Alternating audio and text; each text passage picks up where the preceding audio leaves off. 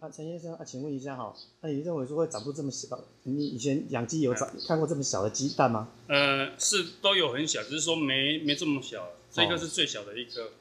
它大概呃长度呃它的高度大概多少？呃这一颗是差不多在二点五公分小颗的也至少都有三公分。